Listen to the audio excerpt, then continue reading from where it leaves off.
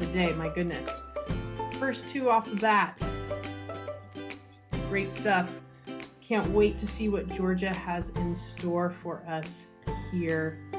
Um, I'm going to go ahead and assume that everybody is back from their bio break. That music was wonderful. It made me want to move, especially after Sam's chat there about physical movement, moving the body. Um, next up, we're going to take a little bit different turn here and learn about beliefs. Georgia Ellis is going to chat with us about the hidden power of self belief. Georgia will show you how to switch from feeling inferior and like an imposter to befriending your inner critic to prevent self sabotage, helping you to truly believe in who you are and what you are capable of doing. Explore the remar- remarkable workings of your mind and how it does its best to keep you safe by holding on to beliefs and perceptions that perhaps no longer serve you. Georgia will demonstrate how to uncover those often hidden beliefs and what you can do to align your mind to our ever changing world. Georgia is a human potential pilgrim, deep diving and experimenting with all things that can make us better humans for more than 20 years. Blue Chip Minds is her baby, and for the last 10 years, she has trained and coached over 16,000 people across the globe. She is the creator of numerous personal and professional development programs, including the Future Ready Leaders Toolkit, Life Reloaded, The Leading Edge, and Collective Evolution. A nature junkie, Georgia loves exploring new places, pushing her limits, and meeting everyday people who are doing their bit to make the world a better place. It is my pleasure to introduce to you Georgia Ellis, the wonderful creator of the Thriving Minds Summit, to you today. In the house. Thank you, Lara. All right. How I'm feeling a bit vibed after that music. I'm kind of glad that um, we chose a little bit of Bublé to set the scene for us for this next session. Huge shout out to both Erica and Sam um, in their presentations. I have one thing that Sam mentioned that is absolutely pure gold, which is a lovely segue into what I'm going to cover. Is he said I actually wrote it down because uh, it was so powerful. So uh, you all would have seen that Sam took us through the process of having a goal, and that requires behavior change, and then that leads to habit formation. Then it leads to a new identity. And then along the way, he said that your goal and a new identity are actually one in the same. And so I'm going to unpack that little a little further in this presentation. Now, this presentation is going to be a little bit interactive, so I will ask you to type some answers in the chat. And about halfway through the presentation, we will pop you into some breakout rooms of maybe three or four for you to discuss some things as well, because we actually learn through discussion, not just sitting here having information um, thrown at us. So we'll do a little bit of that in this session as well. If you don't feel comfortable being in a breakout room when Lara um, creates the breakout rooms and sends us to the breakout room, um, you just don't go there. However, hopefully it doesn't mean that there's only one person in a breakout room, but do your best. So, yeah, goals and identity are one in the same. So, if you've got a goal to do something, you need to create an identity that's aligned to that. But what happens is the old identity, which is safe and familiar, is going to put up a fight because this is the known. And I'm going to walk you through what this part of us is and how it tries to protect us. So I like Sam, I do have a screen to give you a bit of visual, I mean as presentation. Let me just get it up for you. Okay, so the power of self belief. What we're going to look at, there's three key things from this presentation. The first thing is we're going to look at the, the concept of self belief. What is that? Then we're going to look at how we can identify the inner critic. How does it show up? What's its modus operandi? And then how can we start to overcome self sabotage? How can we start to change the things that are potentially holding us back from those goals we're setting ourselves, whether they're the goals for fitness, whether they're goals in our career, um, any kind of goal that you have, there is always going to be a part of you that will potentially hold you back. And we're going to explore that today. So the first thing is let's move over to the chat. I want you to pop into the chat. What's one thing you want to achieve? You know you can achieve it. You've maybe tried a couple of times to make a start. You may have you know, got a little way through and then you've stopped or you're feeling stuck. What's a goal that you've had or currently have that you don't seem to be getting anywhere with? So let me know in the chat to bring the chat back up. Let me multitask with all of these. Jaleel's got a book, a book of poetry I've been writing for 10 years. Okay, beautiful. Is I'm going to get you on mute, Jaleel. So is that something that is it taking 10 years because it's you just don't get to it, or is it the writing process is actually progressive that way? Is it deliberate, mm. the 10 years? the 10 years is not deliberate. Um, I definitely have been writing it actively for that 10 year period with varying degrees of activity. Um, I think the more specifically, the challenge that I uh, am facing with the book is the is like bringing it all together and the actual process of going from, you know, um, just a hundred or so poems in some kind of ununiform, unstructured way into an actual coalesced full book that's ready for publication. That's that's my that's my sticking point. All right, beautiful. Pay attention. You might get some gems today. And I can see too that we had um, a couple of other people who have got Tate sticking to her leadership map. So I know Tate and I know she created a leadership map. So hopefully you'll get a couple of reminders, some insights for you today, Tate, in relation to that. Kerry, designing my own future okay, I, I know Kerry knows how to do that. So maybe she's leveling up a little bit. Merrin wants a constant meditation practice or con- constant, yeah, consistent. Uh, and expanding my business organically. Hey, Sunitha, I can relate to that. So, a little story for you all about what we're going to be covering today is that what I'm sharing with you, the insights and the maps and models come from personal experience. So I spent over 20 years in the corporate world. So in a corporate organization. And then I left and with the aim to start my own business. And I actually floundered for quite a while. I'd probably say eight months. And the reason was my belief systems and my identity weren't aligned to actually what I was doing. And it wasn't until I had that aha moment and started putting things into place that my business grew. And in some, some would say it had a quantum leap, but it wasn't the business that changed, it was me. It wasn't the external environment that was different, it was me. So let's start, let's start exploring some of these um, some of these things so that we can start getting more aligned to what it is that we're working towards. To do that, you need to really understand belief. So we've got two, I've come to know we've got two types of belief. So we have the type of belief that sits in our conscious mind. So these are the things like, I'm going to use Jaleel as an example. Jaleel might say, I'm going to write a book. I believe I can write a book. I've got these ideas for a great book. I know how to write a book. Jaleel, are they all correct? To some extent. yeah. Yeah. So you've got we've got these conscious ideas about it. So Tate in her, she'll go, okay, I've got these stories about leadership and I've got this map, which is my knowledge, and I've got this plan. This is all at the conscious level, which is great. They're the types of beliefs we need to, they give us their ideas and they help us to move forward. But what most people don't understand is that there's something that sits below the conscious, and it's called the subconscious. And this controls 95% of what we do. So if our conscious mind controls 5%, we might get some things done with a little bit of willpower. But the subconscious is going to control 95% of what we do. And so herein lies the issue. So for me, if I think about my role in or my journey in starting a business was oh, I know how to start a business. I've seen it before. I've seen my parents had a business. I ran a business in my 20s with my ex husband.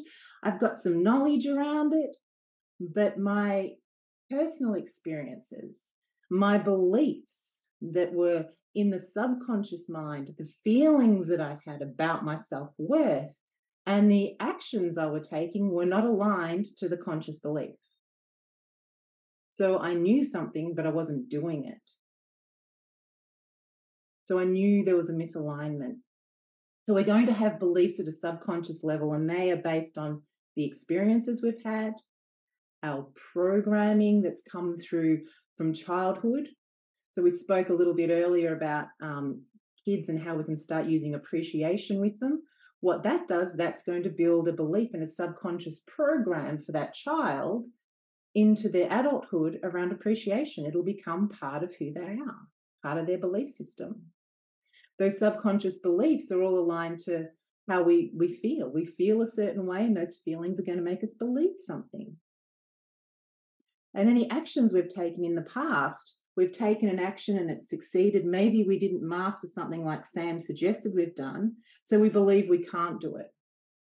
Oh, I can't, I can't go to the gym because I tried it once or twice. We say that to ourselves enough becomes a belief based on those actions, and 95% mean the subconscious is going to prevent us from doing that. So our beliefs are really powerful.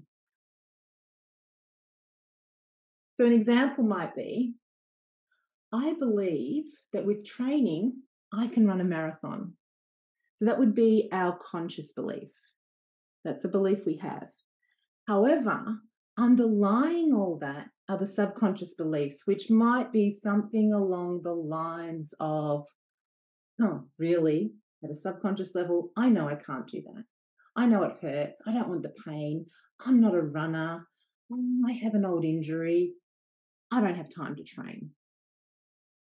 So these are the things that are going to pop up and create that level of uh, sabotage. The beliefs doesn't support us. We're not in al- alignment with our goal. So you, you can swap out. I believe with training I can run a marathon to anything. I believe I can write a book. I believe I can become a great leader. I believe that I can meditate. I believe that I can expand my business organically. But if it's not happening, we know there's something at a deeper level preventing it. So, what is self belief? Self belief is a mixture of our confidence plus the faith in ourselves, and more importantly, the faith in our abilities. So, all of these together create our self belief. So if we're missing a level of confidence, well, then we need to get that confidence. And we do that through our behaviors by taking action, proving ourselves, having the evidence that we can do something. Then, once we have that confidence, we then, that then gives us faith. I've done it before, I can do it again. And then we start to build our abilities. And those abilities are strongly linked to what Sam was saying around having that mastery mindset, where he, he uses the word consistency. So the more you do things over and over and over again, the more you're going to change that subconscious belief. One of the things that I've learned over the 20 years of um, being able to fully understand human potential I realized that the thing that helps us the most, the thing that's going to help us change the uh, the subconscious is repetition. Repetition is the thing you have power over, and that takes a mastery mindset. We can also change the programming through other avenues. Hypnosis works. Um, there's a few energy modalities that work, and emotional impact works as well. However, the thing you have control of, where you don't need outside help, is repetition. Is making that decision that you're wanting to change and then going ahead and taking the action. So one one thing that is going to be really powerful to, for you to fully understand is this idea of having a self belief set point. Just a show of hands, who's heard of this term before? Okay, we've got Lara has, yeah. Oh, no one else has got their camera on, but you can put your little your little tiny um. Oh, Tate has sure have. I know Tate has. Tate's done one of my programs. So this self belief set point is similar to any kind of cybernetic system we have. So a cybernetic system, I'm using some scientific terms here, is is like a um, it's like a cruise control or a thermostat we get to set that. And our self belief creates that for us. The way we see ourselves becomes our set point. So it's automatic regulation. We have cybernetic systems within us that regulate what we do standing up. We get feedback from the environment around us that maybe we're leaning over. So we put ourselves back straight again.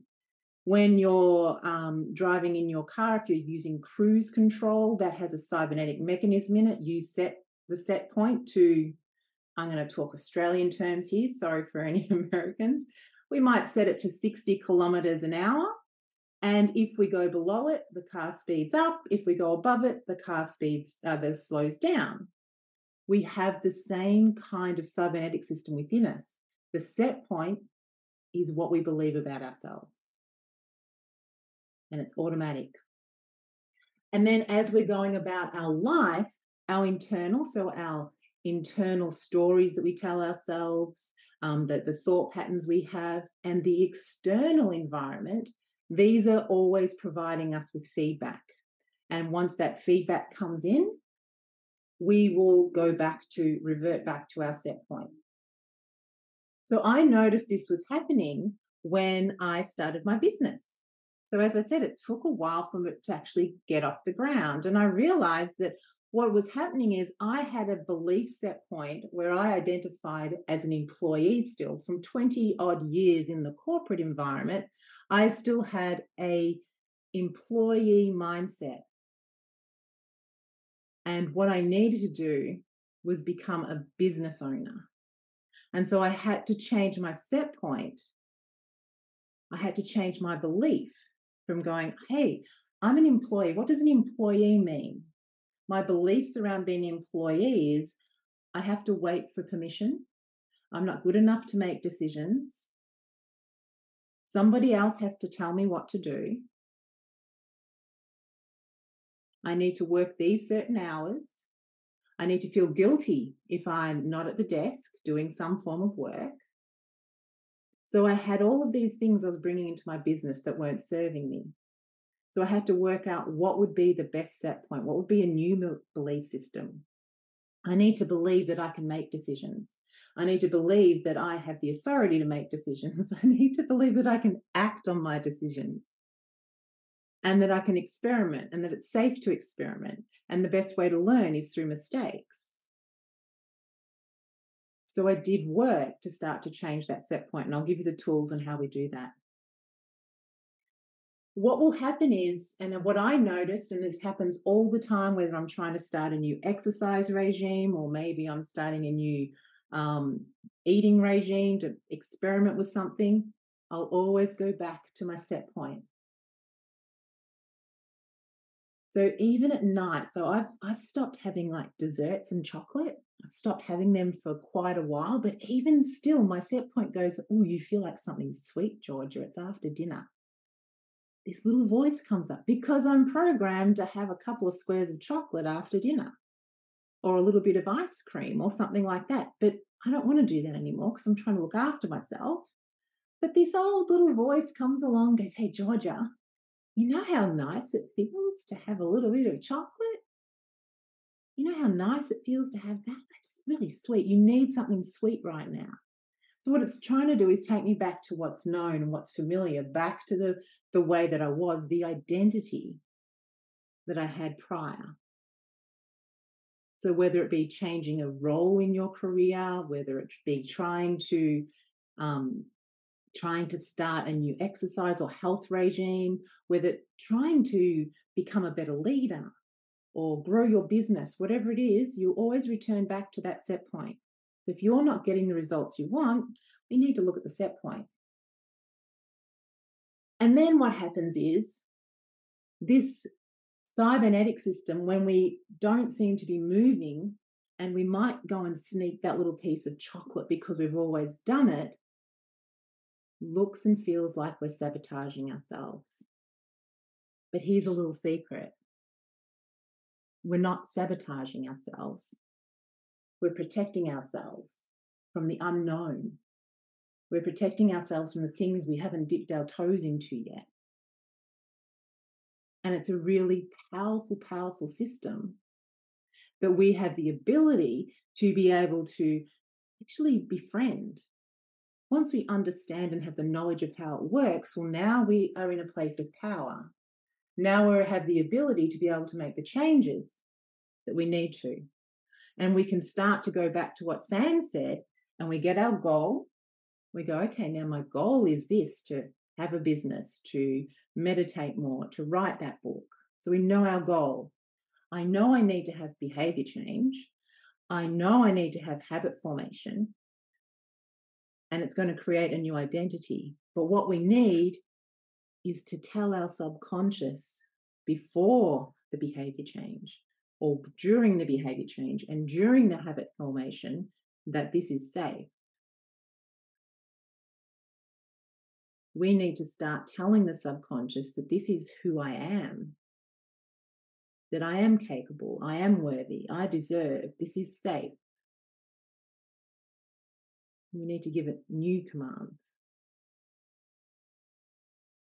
So, how does your cybernetic system show up? What's its modus operandi? So, how do you know that this part of you, your set point, your cruise control, so is is starting to bring you back down? It's keeping you safe. What are some things that you might notice?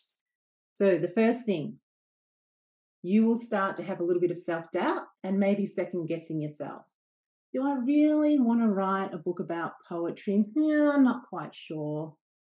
Hmm, does the world need a book about another book about poetry? Like, there's so many out there. Like, and what have I got to offer the world? Really, I'm just Jaleel. Right? These are some of the things potentially, and I don't know. Jaleel's smiling, so I don't know if any of that's ever happened. Or maybe Tate might be going, oh, I'm not really a leader. I really can't do this. I don't have the right skills yet. And that plan, that this looks too hard. Mm. Can I really do it? When did I write that plan? Who was I? What was I thinking?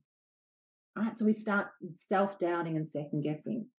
Another thing, oh, I'm not good enough to do this. I'm a bit inferior. Who am I? I'm not a writer. I'm not a leader. I've never run a business before. I've never organically grown a business before. Meditate. Oh my God, have you seen all the crazy people that meditate? I don't want to be one of those. Oh, I don't fit in here. This is not me. You know, it's really interesting as I started to change my own set point around my wealth, around my health, around my business, so you can do it for any area of your life, I started to pay attention how I felt in certain environments. So if I was in a group of, um, let's say, managers, CEOs, or executives, did I feel like an imposter here? Did I feel like I deserved to be here or not? And I really, and this goes back to that sensing what's going on in your body. Your body will tell you because your subconscious mind is in every cell of your body. So it's going to communicate to you through your feelings and emotions. So if I'm sitting in a room with a whole lot of people and I'm feeling something, my body's telling me. So I learned to tune into that. I don't feel comfortable here. And then I tell myself, well, that's bullshit because they're just humans like me. What makes them any different? So then I'd come home and I'd think about, well, what was the thing that I felt uncomfortable about? and I'd start to rewrite a new script. Or it might be going down the, the high end of town where all the nice fancy shops are that are really expensive, and I never would walk in there because I didn't feel like I was worthy. I wasn't one of these wealthy people. Oh, there's a feeling, Georgia. Go and deal with that. What can you do to start changing and feeling comfortable in these spaces because anything that's unknown is going to this the set point, the cybernetic system, that self-belief part of you, it's going to bring you back. So this is that embodiment piece, really feeling what's going on in a certain moment. So listen to your body, it's going to give you the messages you want, especially if you're feeling like an imposter. So if you want to raise your digital hand, who procrastinates a lot around things that you know you want to do? Sam does, Tate does. Yep, Melissa Forrest has got a thumb up there. Dalil. Oh, I've got a lot of procrastinators here. Beautiful. That is generally a sign that you potentially could be misaligned. You consciously know you want to do something, but subconsciously, you kind of got a set point that's saying something differently. We need to change that identity. We need to start aligning ourselves. As soon as I changed my identity, procrastination went out the door. It's very rarely that you'll find me procrastinating. If it's something I haven't done before or a bit scared of, I'll get busy and change the subconscious program so that I take the action. So, procrastination is also your cybernetic system's modus operandi. Fear of failure.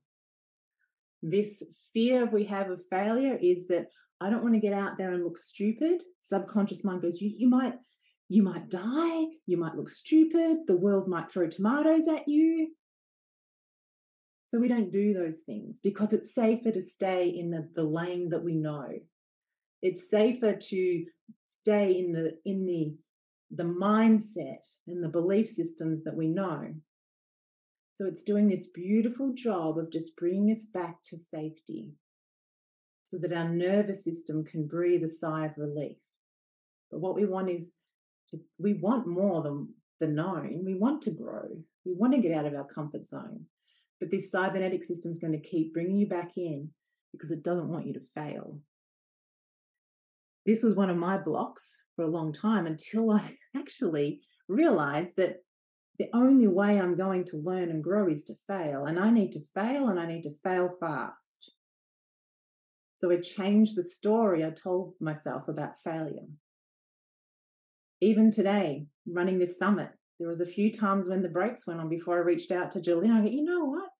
If this doesn't happen, if I have three people show up, it's still a success. I had to let go of that fear of failure and redefine what failure was and know that it's a learning. So who knows, after the end of today, we might decide to run more. Who has negative self talk or continuous feedback loops going on in their head? So, show of digital hands, Melissa Forrester, Lara. Okay, cybernetic system, playing it out. Let's just tell yourself a little story in your head so that you stay safe. I'm going to keep you where you are. So this is again another sign that we we've got a misalignment between conscious and subconscious. Another thing that can happen is that we start externalizing it and we might make excuses for why we can't do a thing. So I will never run a marathon. It does does not interest me. However, if someone did ask me to run a marathon, I would come up with all of these excuses because it's not part of my identity. Because I just said to you, I'm not a marathon runner. I'll never run a marathon. Doesn't interest me. Subconscious belief there. You'll come up to me and ask me, and I'll go, I've got a shoulder injury. Or I'll complain about something. Or I'll blame the shoulder injury of why I can't do it. So, excuses, blaming, and complaining, if you find that happens a lot, or you're creating some drama to stay safe, to stay where you are, more than likely it's the internal system going, let's just keep you safe in the known. Don't go over there. Don't do that thing. Here's an excuse. I'm too tired. Not today. Maybe I'll start tomorrow. All those things pop up. Who's given up on a goal in the past? Yeah, look at that. Tate, I can see you nodding. I love it when there's people on camera because I get to see the responses. Yeah, This is one of the things it loves to do. You get to a point and you go, I'm just giving up because I can't do it. I've tried a few things. Giving up means you're not aligned. And then you get to choose if you really want that goal or not. If you really want it and it's you haven't been getting the results you want, have a look deeper. But if you decide consciously and you make an informed decision that you don't want it, different story. But if it's still something you want, we need to get at an alignment. We need the beliefs at a conscious level to be aligned at the beliefs at a subconscious level. Okay. I think it's time for a breakout room. So we've got, I don't know how many people here because I can't see everyone. But Lara, have you been able to? We've got a smaller group now. How many are there? Let's see. We ought to put them in maybe groups of three. So, what we're going to do is pop you in a group of three, and there's a question for you to discuss. If 95% of our life comes from the subconscious, and your cybernetic system relies on your programming to keep you safe, how can you determine your self belief set point? So, how are you going to know what's your 60 kilometers on your cruise control? How can you know what your set point is? So, we'll give you five minutes in the breakout room to discuss that. How are you going to determine and how do you know what your set point is? And those of you that are still with us but not in a breakout room, if you're up for it, um, pop in the chat what um, your answer to that question would be. How can we determine our belief set point? See what you come up with. Jaleel, yes, I am reading your. I was reading your mind.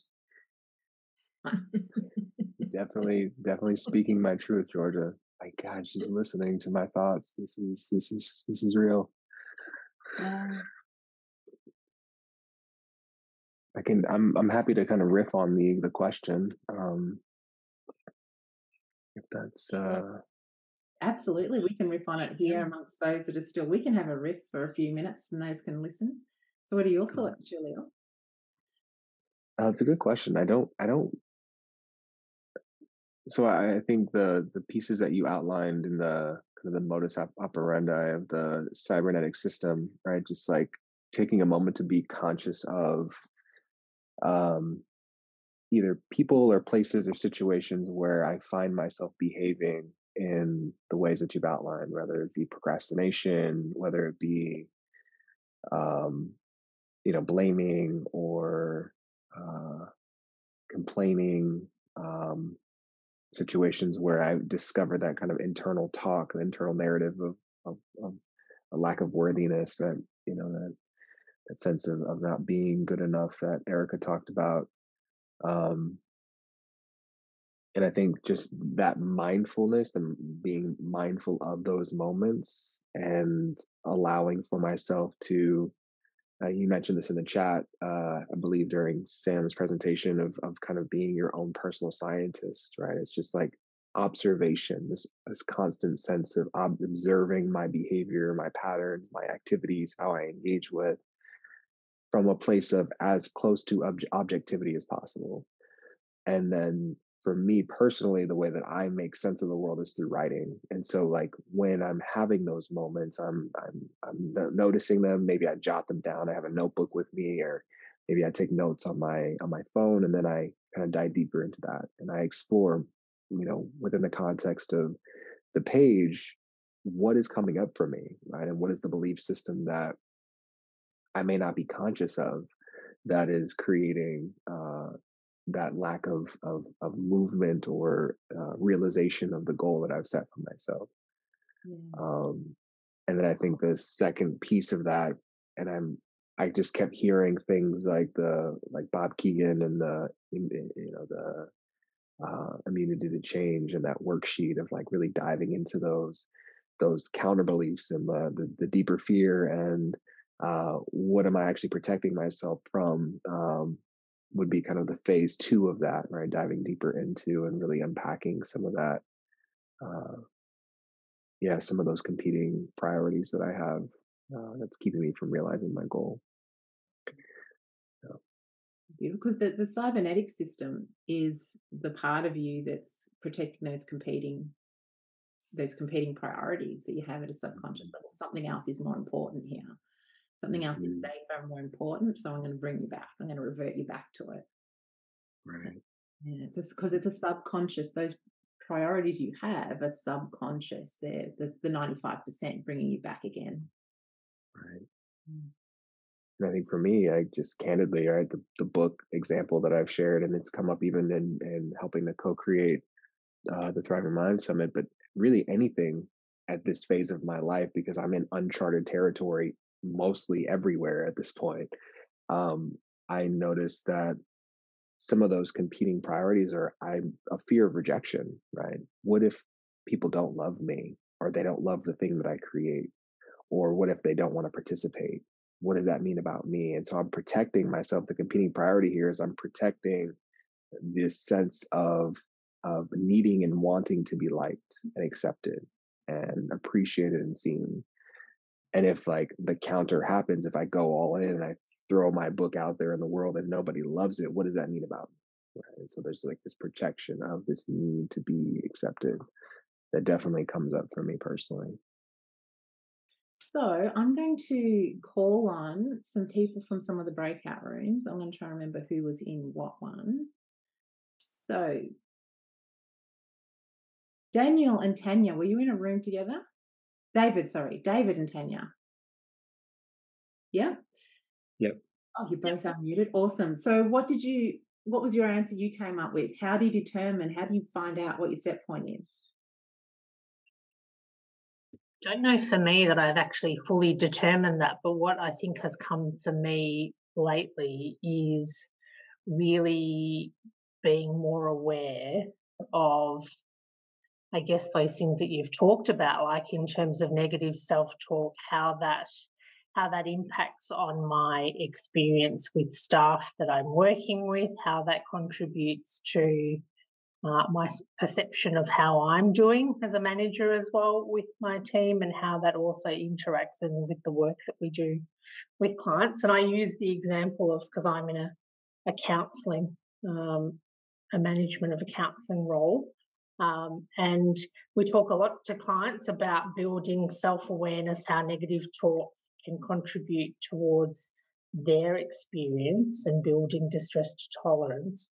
But then, how do I apply that then in my work context and, and observing, really kind of being an outside observer, noticing how interactions actually resonate for me in a bodily and mind perspective and how that kind of feeds into some of the themes that you were talking about. Yeah, beautiful. And that's absolutely so for everyone, have a think to have a think about and pay attention to what's actually showing up for you. Now I'm going to move on because I've got like three minutes of time for the formal presentation. So I might eat into the question and answers time a little bit, Lara, just saying that, putting it out there.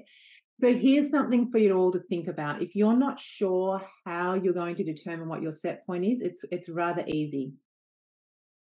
Look at your life and your results because whatever your constant results are and whatever's showing up in your life um, is going to tell you what your set point is. So, if you want to know what your set point is when it comes to money, look at your income and your bank balance. If you want to know what your set point is in relation to relationships, look at your social circles, look at your partner, look at the people you spend most of the time with.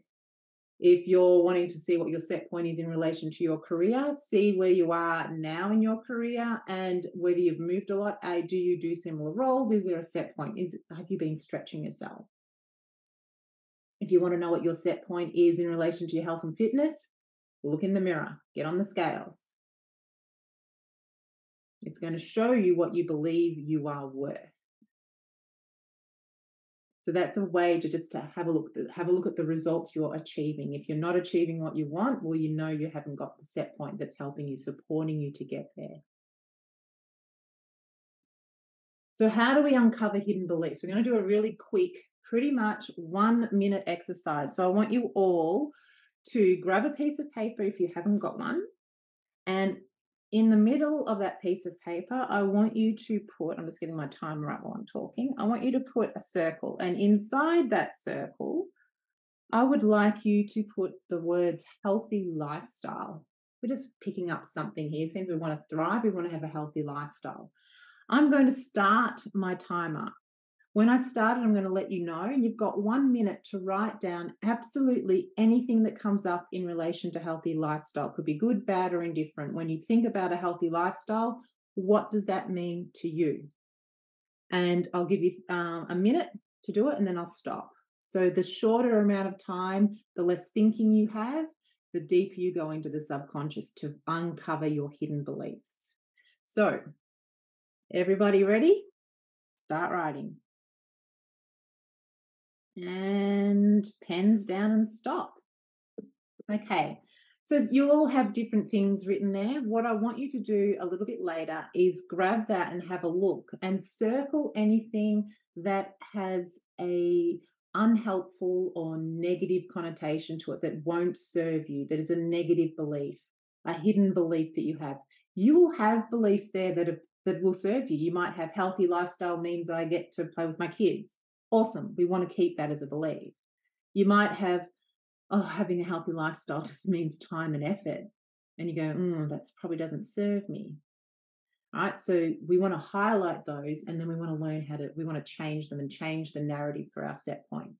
You can switch out healthy lifestyle to writing a book, being an author, being a leader, running a business, meditating, anything that you're feeling stuck with, pop it in the middle. And what we want to do is uncover the things that could be at a subconscious level. You can do exactly the same exercise but I would suggest no more than a minute. Put your timer on and don't do it for any more than a minute. Then take out those and highlight those ones that are not serving you. Then, what we want to do is take those things and change them. We now want to align the mind, the conscious part, the idea that we think we can write a book, to the subconscious mind that's preventing it. So now we want to change that set point. How do we do that? First of all, you need to reframe those limiting beliefs. What does that mean? That means everything has an opposite. So that belief that you're that you have that's not serving you, can you craft out uh, affirmation, a declaration of purpose that is the opposite of that? So an opposite might be for me, marathons are hard work. Marathons are work, worth the effort is what I might change. Then we want to reinforce those new powerful beliefs. And reinforcing them means finding evidence in your environment around you. It means using repetition and putting them into the subconscious on a rep- repetitiously. So it might mean every morning you rewrite them, you resave them, you have them stuck on the mirror. You want to flood the subconscious with that information because the negative you know, identities or beliefs we have, they got there through repetition. They got there because you were exposed to things over a period of time, whether it be in your childhood or in your adult life. So, what we want to do is we want to really expose more of that to the subconscious. Whether you actually physically believe it to be true or not, you eventually will through repetition. This has been a game changer for me and a lot of my clients is scripting an updated identity or a set point. So at the moment, I have one that I'm redoing um, every few years, I'll go, oh, I'm feeling a bit stuck. Something's got to change. What goals haven't I achieved? And I'll start a new script. I'll pull out the things that are holding me back and I'll rescript them and I'll plant those suckers, I call them suckers, into the subconscious mind. So script your identity. Cognitive restructuring is, while you're in the breakout rooms, we spoke about this very slightly. It's about challenging those beliefs, testing those assumptions. So if I'm going to have a feel of fear of failure, well, maybe I need to go and do the thing and see if I do fail. Or a fear of rejection, maybe I'll do the thing and see if people do actually reject me. Test it, see. So challenge those beliefs.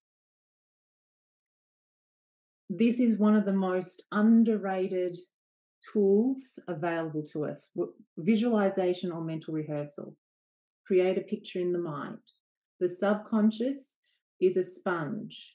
It believes anything that is going on around you, whether it's true or not. So start giving it some information. Start visualizing and mentally rehearsing this new version of yourself. And 100% use repetition. It is the key. It's mastery, as Sam said earlier, repetition, and even Erica mentioned as well. Keep up with these practices. So add to your toolkit changing that identity so that it's aligned to where you want to go. And finally, I want you to think about you can either type this in the chat or write it down. Now that you know what you know about self belief and our identity and being able to move ourselves forward, what's your top takeaway from this presentation and what would be your next move? So you can either pop it in the chat or put down a little highlight on your notebook of the thing you're going to do and take away. So we'll do a quick recap. Your self belief is not fixed. You can change it. You have the power to do that. You have the power to rewrite your subconscious mind. The whole idea is simple, but it's not easy. It does take effort and it does take repetition. You need to approach it with a mastery mindset, be the scientist of your own life, have some curiosity, and most importantly, have a bit of fun as well. Be playful with it. Go and see what you're capable of doing. Remember, there's a part of you trying to keep you safe, but it does keep you stuck.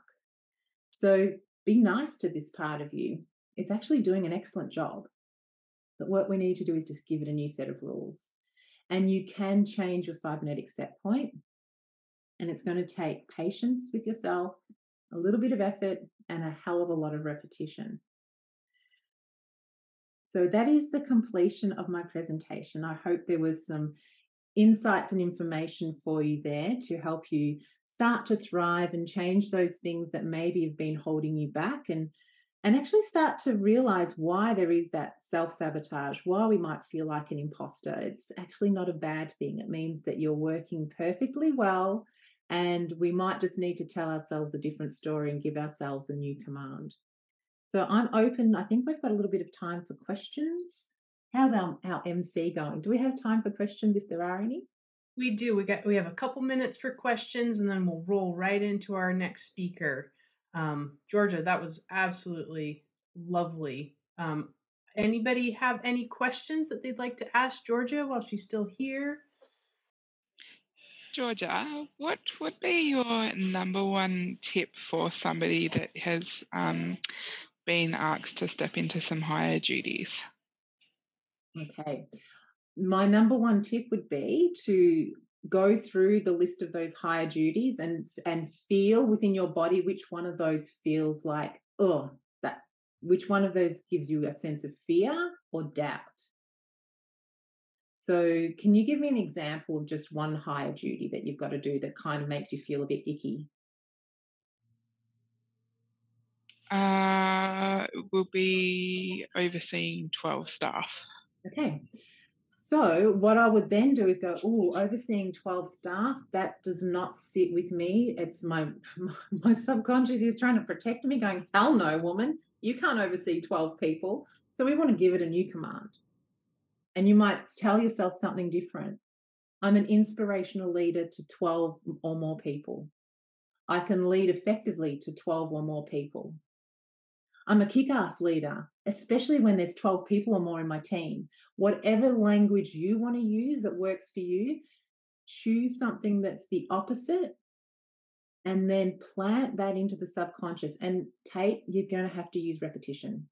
It's not just say it once, it's say it, and where you can, feel like, hey, you know, I can do this. I'm a kick ass leader for 12 or more people. I can do this. Feel it look in the mirror and say it. Hope that helps. Great question. Thanks, Georgia. Thanks. Beautiful. All right, if no one has any more questions, back to you, Lara. Thank you so much. I had my own um, gem that popped up, illuminated throughout your conversation there as uh, we were in the breakout rooms and haven't gotten to formally formulate it through words yet, but thank you for sharing um, it was wonderful.